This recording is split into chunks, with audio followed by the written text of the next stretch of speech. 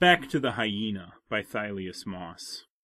I should go back because the spotted animal can go for days without drinking, and I have needed Bacardi to give fantasized pirates a liquid medium in which to pilot their ships to my bedroom.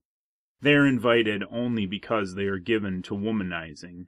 Long nights at sea in a rocking vessel conjure images of oscillating hips, not Whistler's mother in her chair quieting an infant.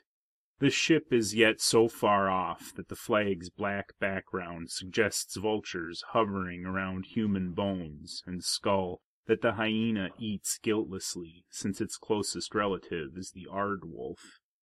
Without that motif, the flag could be a nun's skirt spreading forgiveness as it moves with, not against, the wind.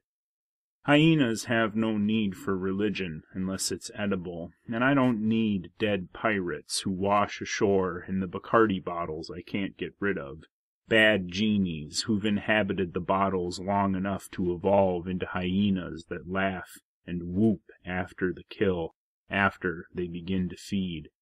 They leave only tatters of black cloth, which could simply be the caribou's bloody velvet that was supposed to fall off. Or, if the idea of forgiveness is correct, then the cloth is from a skirt, and being a nun didn't save me.